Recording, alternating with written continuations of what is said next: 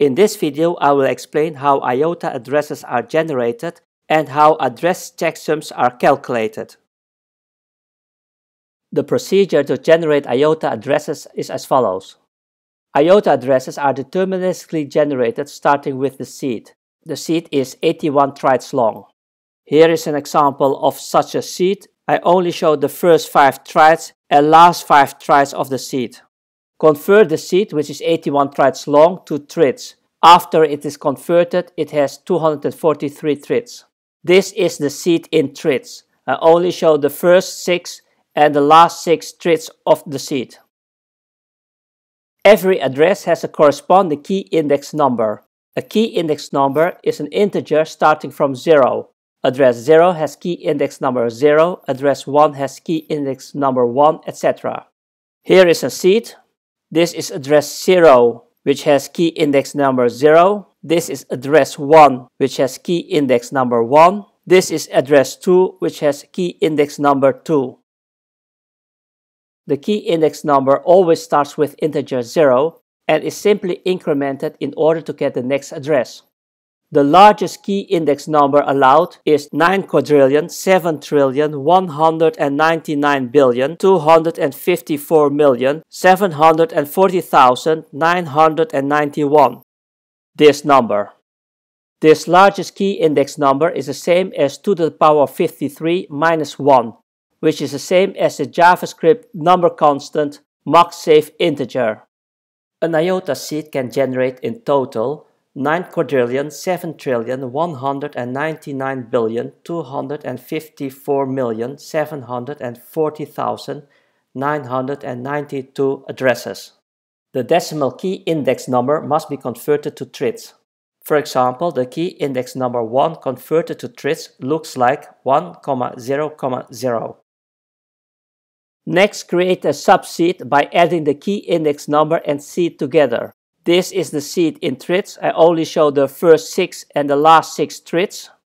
This is the key index number in trits. If you add these two values together, you get the subseed. IOTA provides three security levels, 1, 2, or 3. A security level determines the number of rounds for hashing, which means that a single seed can have three different accounts. A different security level with the same index number means that you will get a different address. Here is an example. You start with a seed. If you use security level 1, you generate these addresses. If you use security level 2, you generate these addresses.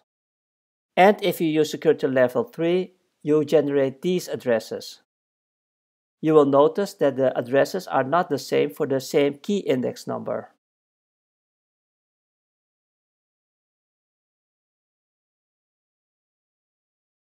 Please note all generated addresses have the same length. If you select security level 1, this is its key size in trits. Security level 1 is used for low security, best for tiny IoT devices that only transact or store small amounts of value. If you select security level 2, this is its key size in trits. Security level 2 is used for standard security, best for regular people's wallets and devices that store higher amounts of value. If you select security level 3, this is its key size in trits. Security level 3 is used for full-blown quantum-proof security that conforms to National Security Agency's recommendations for sensitive material, good for big value transactions, and paranoids. Client libraries such as iota.lib.js makes it possible to choose another security level. This is my simple IOTA wallet. I have created this wallet for educational purpose. Do not use this wallet in production, otherwise you will lose all your IOTAs. In this demo, I will show you the different addresses generated when you change the security level. We start with a seed. Let's copy the seed and paste the seed in this text box. Let's start with security level 1. I'm only interested in the first 10 addresses. I'm changing this field into 10. We start with key index number 0 and in total we will generate 10 addresses. Press this button, generate addresses. and here are the first 10 addresses. Let's do the same, but now for security level 2. Clear the output and press the button Generate Addresses.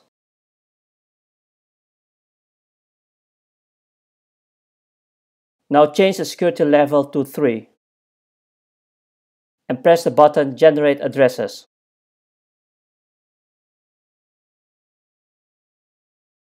As you can see, the generated addresses all have the same length, but the generated addresses are different for the same key index number. If you look at key index number 0, that's this address. This is key index number 0, has a different address, and the same applies to this address. What I have just demonstrated is that a single seed can have three different accounts. This account, this account, or this account, depending on which security level you have selected. By default, the IOTA Lite wallet uses security level 2 and you cannot change its security level. If you created an address using security level 1 or 3, this address will not appear in the IOTA Lite wallet using the same seed. In the next slide, a simplistic explanation is given how the subseed is hashed multiple times using the Keccak 384 hash algorithm. The hashing is done in a wrapper class called Kerl. This is a simplistic overview how the address trits value is calculated, this value. Do not focus on the absorb squeeze phases inside these Kerl boxes. The key is dependent on the subseed and security level. The generated key is the private key which will be used to sign the transaction. I will make a separate video about transactions. The digest is dependent on the key, and the address trits value is dependent on the digest. If you convert this value to trytes, it becomes the address. The address trits value or address is the public key. This means that the address trits value is indirectly dependent on the subseed and security level. As mentioned earlier, the key index number is added to the seed to create the subseed. The seed and subseed can differ between the first first tryte up to and including 12 trytes as you can see over here. If someone else has exactly the last 69 trytes up to and including 81 trytes of your seed, they can see the balance of one or more of your addresses. The probability that someone else happens to have the same last 69 trytes of your seed is very small. Here is the proof.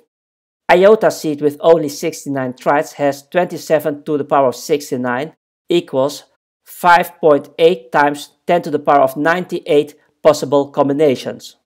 For comparison, a Bitcoin private key with 256 bits has 2 to the power of 256 combination equals 1.15 times 2 to the power of 77 possible combinations. This means even if you have IOTA seed with only 69 trytes, it has more possible combinations than a Bitcoin private key. This is Alice seed and this is Bob's seed. Both seeds are almost identical. At least 69 trytes of both seeds are the same. The difference lies in the second tryte. Please note, the probability that this will occur in reality is very small. Using Alice's seed, I have generated the first 50 addresses using security level 2 with the checksum enabled. I have done the same with Bob's seed. If you look at Alice and Bob generated addresses, you will notice that Alice will have the same addresses as Bob, starting with Alice key index number 27 and Bob key index number 0. These addresses from Alice are the same as these addresses from Bob. If you continue looking at these addresses, they match these addresses. The reason why this is, is because at least 69 trytes of both seeds are the same. A checksum is an additional 9 trytes added to an address, which is 81 trytes long, which can be used to validate the integrity and validity of the address. An address with checksum is 90 trytes long, 81 trytes for the address itself and 9 trytes for the checksum. For example, this address this address is 90 trytes long and the last 9 trytes is the checksum. The iota.api.getNewAddressAPI function makes it possible to directly return checksummed addresses. The procedure to calculate an address checksum is as follows. Start with an IOTA address, which is 81 trytes long. Here's an example of an address in trytes. I only show the first 5 trytes and the last 5 trytes of the address. Next, convert the address to trits. The address will contain 233 trits. Here's an example of an address in trits. I only show the first 6 trits and the last 6 trits.